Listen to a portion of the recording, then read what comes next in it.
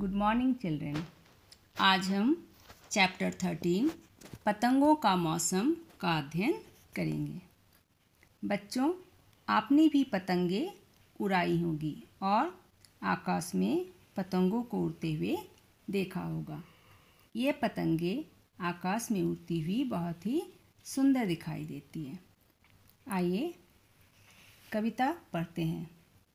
मौसम आज पतंगों का है नभ में राज पतंगों का है, इंद्रधनुष के रंगों का है, मौसम नई उमंगों का है।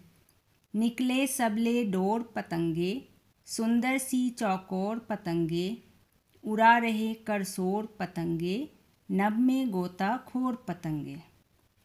कवि बच्चों को जब पतंग उड़ाते हुए देखते हैं तो उन्हें ऐसा लगता है जैसे यह पतंगों का ही मौसम हो। आसमान में इंद्रधनुष के रंगों की तरह अनेक रंगों की पतंगे एक साथ उड़ रही हैं। सभी बच्चे पतंग और डोर हाथ में लेकर निकले हैं। उनके हाथ में सुंदर सुंदर पतंगे हैं और वे उन्हें उड़ाते हुए खुशी से शोर कर रहे हैं। उड़े पतंगे बस्ती बस्ती कोई महँगी, कोई सस्ती पर न किसी में फूट परस्ती, उड़ा उड़ा सब लेते मस्ती। पतंगे हर बस्ती में उड़ रही है। उनमें से कुछ सस्ती है तो कोई महँगी, पर आपस में कोई भेदभाव नहीं है और सभी बच्चे उन पतंगों को खुशी से उड़ा रहे हैं। चले डोर पर बैठ पतंगे इठलाती सी ऐंठ पतंगे नब में कर घुसपैठ पतंगे, करे ग्रहों से भेंट पतंगे। हर टोली ले खड़ी पतंगे, कुछ छोटी कुछ बड़ी पतंगे, आसमान में अड़ी पतंगे, पेंच लड़ाने लगी पतंगे। पतंगे डोर के सहारे इठलाती हुई इस तरह ऊपर जा रही है। जैसे वे आसमान में ग्रहों से भेंट करने जा रही हो। बच्चों की टोली पतंगे लेकर उड़ा रही है। उनमें से कुछ पतंगे छोटी है तो कुछ बड़ी। और आसमान में उड़ते हुए वे एक दूसरे की डोर को उलझाने लगती है।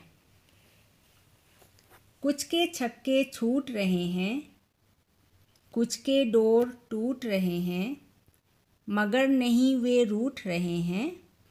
कटी पतंगे लूट रहे हैं। पतंग उड़ाते समय जब बच्चों की पतंग कट जाती है और वे, तभी वे परेशान नहीं होते, बल्कि वे क्या करते हैं? कटी पतंगों को लूटने के लिए दौड़ पड़ते हैं। वे एक दूसरे से रूठते नहीं और खुशी खुशी पतंग लूटने लगते हैं। इस तरह इस कविता से हमें यह सीख मिलती है कि हमें भी साथ साथ मिलजुल कर रहना चाहिए और किसी से नाराज़ नहीं होना चाहिए। अब कठिन शब्दों के अर्थ जानते हैं। नव। नव का अर्थ है आकाश। राज। राज का अर्थ है शासन। उमंगो। उमंगो अर्थात जोश, उल्लास। चौकोर। चौकोर का अर्थ है चार कोनों वाली। गोताखोर। चारों ओर चक्कर काटना। बस्ती।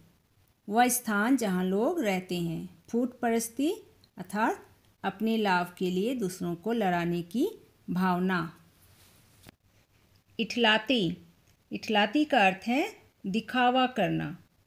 घुसपैठ। अर्थात बिना अनुमति के कहीं घुसना। भेंट। भेंट का अर्थ है मुलाकात। टोली। टोली अर्थात बच्चों का समूह। अड़ी। अड़ी का अर्थ है रुकी। पेंच। पेंच का अर्थ है पतंग की डोर को उलझाने का कार्य। छक्के छूट, अर्थात परेशान होना। रूट रूट का अर्थ है नाराज़ होना। Okay, thank you children.